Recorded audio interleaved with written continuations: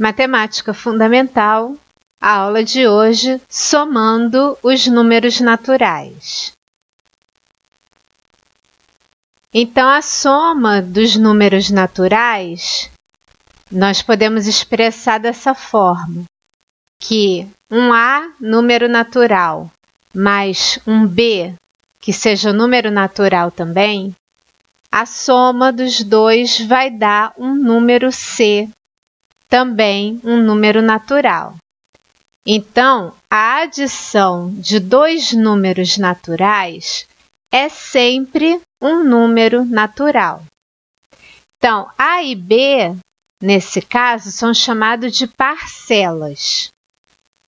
E a letra C, aí na nossa fórmula, é a soma ou o total da adição. Então, aqui nós, nós temos 315 mais 208 igual a 523. Então, 315 e 208 são as parcelas da adição. E 523 é a soma ou o total dessa adição. Temos três propriedades da adição. Nós vamos ver a primeira, que é a propriedade comutativa. Vamos entender o que, que é isso, propriedade comutativa.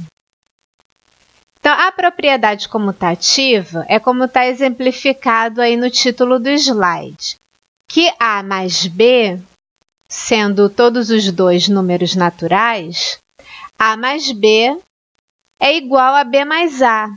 Então, o que, que significa isso? Que o resultado não se altera com a troca das posições dos elementos. Então, A mais B é a mesma coisa que eu dizer B mais A. Então, nós temos aqui o exemplo, olha, 3 mais 5 igual a 8. Se eu inverter, se eu trocar a posição dos elementos, das parcelas, 5 mais 3 também é igual a 8. Então, não variou o resultado com a troca das posições. Isso aqui é a propriedade comutativa. Então, a gente conclui que 3 mais 5 é igual a 5 mais 3, tanto faz. Próxima propriedade da adição é o elemento neutro. Então, nós temos aí que A mais zero é a mesma coisa, é igual a zero mais A que é igual a A, o próprio número, o próprio número natural. Então, o elemento neutro da adição é o zero. Né? O zero é o elemento neutro aditivo. Então, a gente tem aqui o exemplo: 9 mais 0 é igual a 9. Se inverter a posição, 0 mais 9 também é igual a 9. Então, a gente conclui que 9 mais 0 é igual a 0 mais 9, que é igual a 9. Então, o zero não influencia em nada no resultado da adição. Por isso, ele é um elemento neutro.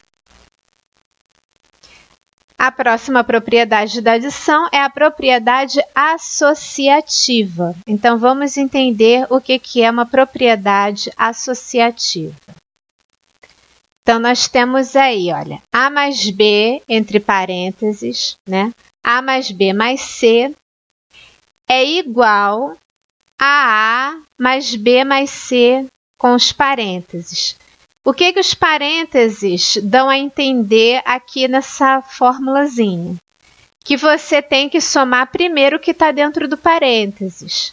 Então, do primeiro lado do igual, eu somo primeiro A mais B para depois somar o C. Do outro lado do igual, eu primeiro somo B mais C para depois somar o A. E nessa propriedade associativa da adição mostra que não vai fazer diferença nenhuma, que nos dois casos o resultado vai ser o mesmo. Vai ser tudo A mais B mais C igual a A mais B mais C. Vamos ver então, tá aí a explicação o resultado não se altera quando efetuamos uma operação parcial. Ou seja, não importa a gente somar primeiro o B e o C para depois somar o A. ou somar primeiro o A mais B para depois somar o C, o resultado vai dar o mesmo. Vamos ver com números para ver se isso funciona. Então, aqui eu tenho 12 mais 4, que tem que ser calculado primeiro, e depois o mais 3. Então, 12 mais 4 dá 16. 16 mais 3 é igual a 19. Então, agora vamos ver a outra situação. O que eu tenho que somar primeiro agora é o 4 mais 3. Então, olha lá, 4 mais 3 é 7. 12 mais 7 também dá 19. Então, não importou eu fazer uma operação parcial. Eu efetuei uma operação parcial e mesmo assim o resultado deu o mesmo. Então, por isso que a adição tem essa propriedade associativa. Então, a gente conclui igual o título do slide, olha. 12 mais 4 mais 3 é igual a 4 mais 3 mais 12. Nos dois casos dá 19. Então, não importa é, nós efetuarmos uma operação parcial para depois somar o resto, que vai dar sempre o mesmo resultado. Se as parcelas são iguais, o resultado vai ser o mesmo. Então, acesse o blog Matemática Fundamental 3.blogspot.com.br se você está interessado apenas nos vídeos de matemática fundamental. Agora, se você já conhece meu canal, sabe que meu canal é bem variado, eu falo sobre vários assuntos, né? Tem videoaulas, tem assuntos interessantes. Então, se você quer conhecer todos os assuntos do meu canal, então assine o canal Liana Ribeiro no YouTube, tá bom? Agora, essa aula tem uma continuação. Essa aula é apenas o início dela. É, se você quiser adquirir essa aula completa, você pode tanto acessar esse blog, Matemática Fundamental 3.blogspot.com.br, ou você pode simplesmente clicar no link que eu vou deixar na descrição do vídeo. Nesse link você vai ver mais informações sobre a aula, a aula completa, né, o que que tem na nossa aula completa e valores, tá bom?